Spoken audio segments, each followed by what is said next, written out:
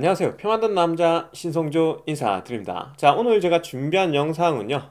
몬스터 헌터 와일즈 베타 테스트 시작했죠. 요 게임이 얼마만한 사양이 필요한지에 대해서 테스트를 한번 해봤습니다.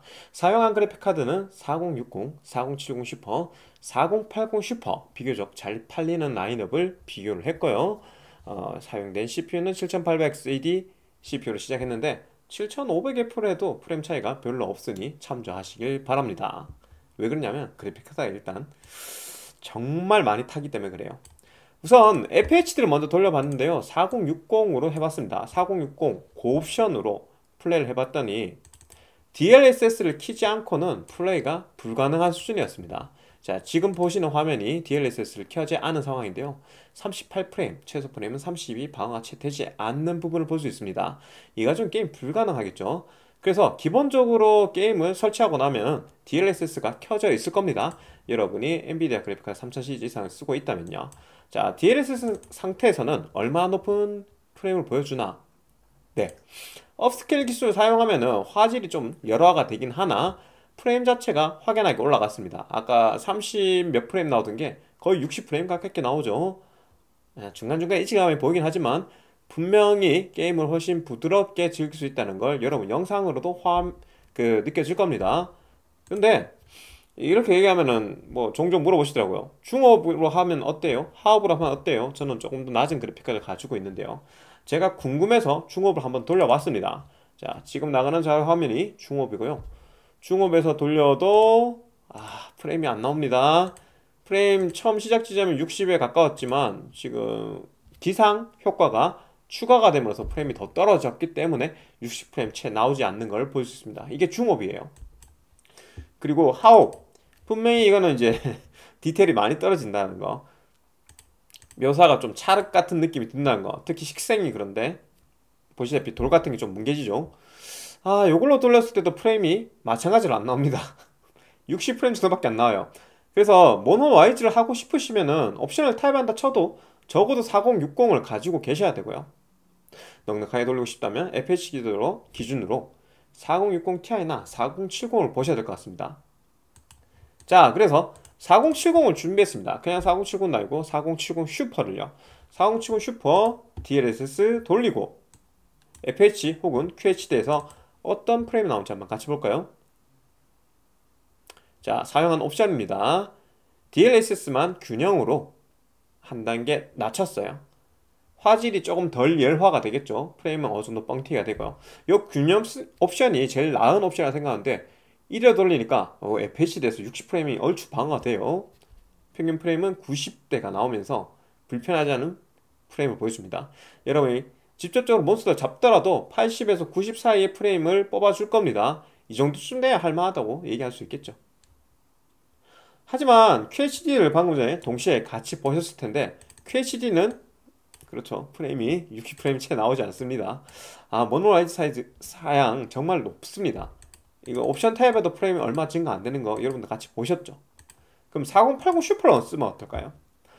4080 슈퍼 세 가지 해상도에서 돌려봤습니다. DLSS 품질을 그 조금 더 높여뒀는데요. 원래는 균형을 했잖아요. 지금 품질 옵션이죠. 이 품질 옵션이라는 거는 프레임을 높게 뽑지 않고 대신 화질 열화를 좀 줄이는 겁니다. 그래도 생각보다는 뻥튀기가 좀 됩니다. 자, 이 상태로 해봤는데 이제는 진짜 할만합니다. FHD에서는 90프레임 정도, QHD에서도 80프레임 정도, 4K에서는 좀 부족합니다. 4K에서는 60프레임 정도 뽑아주네요. 사실 중간중간에 프레임 드랍이 조금 있긴 했으나 4080 슈퍼 정도 되면은 4K를 제외하고는 나머지 플레이하는데 별 불편함이 없었다 라고 생각이 듭니다. 아, 4K에서도 지금 품질 옵션을 해놨는데 품질이 아니라 성능 옵션으로 DLSS를 수정하신다면 그래도 그럭저럭 플레이할 수 있는 정도의 프레임이 나오더라고요. 와 장난 아니죠 최적화가 조금 더 돼야 되겠다라고 생각이 들긴 한데 사실은 최적화 문제라기보다 그냥 디테일함이 남다릅니다 여러분 이 게임을 한번 지금 무료니까 플레이 해 보시면 생각이 달라질 겁니다 자 왜? 최적화가 별로가 아니라 그냥 화질이 좋다라는 생각이 들 테니까요 마지막으로 왜 엔비디아 글카만 안 돼요? AMD 글카는 안 돼요? 라고 하실까봐 AMD 글카를 제가 사용을 해봤어요 마침 7900GR가 있어가지고 플레이를 해봤는데 우선 이거부터 보여드릴게요. 이거 위에 게 지금 FSR AMD의 업스케일 기술을 사용한 건데 지금 돌멩이가 깨져요. 좀 심하게 깨지죠. 눈으로 봐서 구분이 잘 안 될까봐 저 옵션을 끄고 난 뒤에 제가 한번 찍었는 겁니다. 밑에 거랑 위에 거랑 보세요. 지금 돌이 조금 더 터실처럼 느껴지고 그쵸? 오돌토돌하게 그리고 이쪽은 깨지는 게 보이는데 밑에는 약간 더 깔끔하게 다듬어져 있고 맞죠? 그리고 돌이 깨져 있는 부분도 확실하게 줄어들었습니다 자, 이렇게 보면 잘 구분이 안 될 텐데 조금 더 확실한 걸 보여드릴게요 캐릭터 사진입니다 이 지금 제가 FSR을 적용하고 게임 플레이를 했더니 캐릭터 보이시죠? 좀 몽실몽실한 느낌 나죠? 터질처럼 자세히 보면 맞죠? 이게 보입니다. 근데 FSR을 끄면은 이렇게 깔끔해집니다. 처음에 저는 저게 정상인 줄 알았어요. 느껴지나요? 이 몽실몽실한 느낌과 이런 깔끔한 느낌. 확연하게 차이 나죠. 동물의 털도 그렇고 사람의 헤어도 그렇습니다. 당연히 무기류나 아니면 이런 식생류 돌 같은 거 표현할 때 질감도 훨씬 더 깔끔하게 표현됩니다.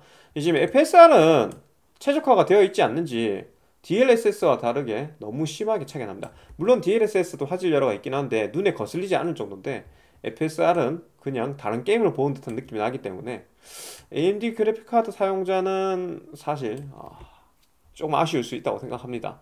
그렇다고 FSR을 켜지 않고 플레이하자니 너무 낮은 프레임이 나오거든요 그래서 웬만하면 엔비디아 그래픽카드 사시는 게 몬헌 YG 하기에는 조금 더 불편함이 없지 않을까 라는 팁을 드리며 오늘 영상 마무리 짓겠습니다. 도움이 되셨다면 구독과 좋아요 부탁드리고 이만 물러날게요. 여러분 빠이빠이